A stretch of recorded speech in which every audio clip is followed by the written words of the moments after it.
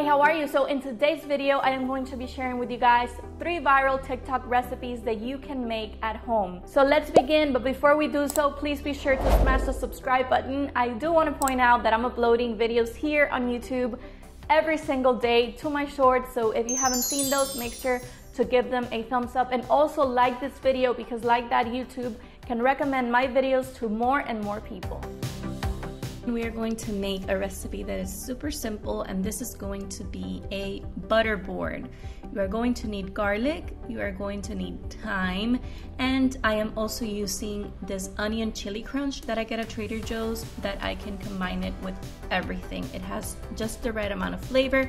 So the first thing that you want to do is that you want to slice the garlic not super thin, but just as you guys are seeing me do it right here because this is going to go into the air fryer for 10 minutes at 370 degrees or until you see that the garlic is crunchy. We are then going to spread the entire whipped butter on the board.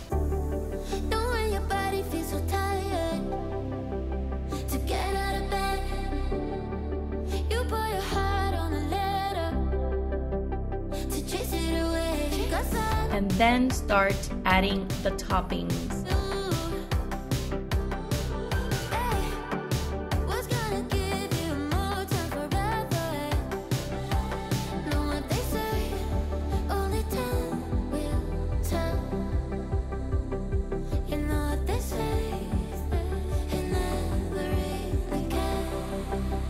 In the end, just add a little bit of honey and drizzle it all throughout and eat this with warm bread. This is so delicious and so simple to put together.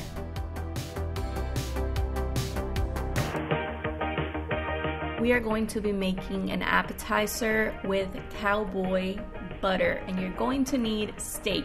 I'm going to be teaching you guys how to cook steak in this recipe. The first thing that you want to do is that you want to season the steak when it's at room temperature with salt and pepper and smoked paprika. Trust me on the smoked paprika, it's going to give it so much flavor. And while that butter starts to melt, I want to show you the ingredients for the cowboy butter. So once the butter melts, you want to add crushed garlic, you want to add rosemary, and you're going to place the steak on the pan and then go ahead and season the other side.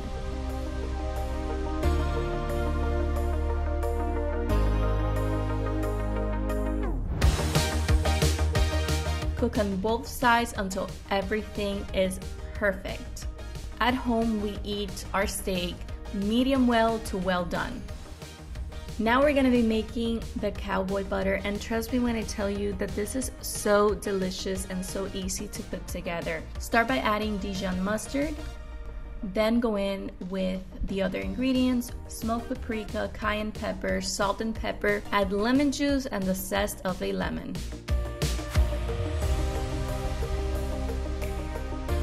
Add the thyme, add parsley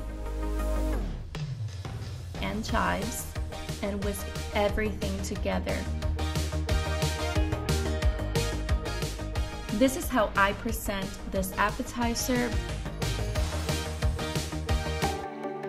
We are going to be taking a regular cracker or even a Lay's potato chip to another level. Start by spreading creme fraiche on top of the cracker and then you are going to top it with caviar.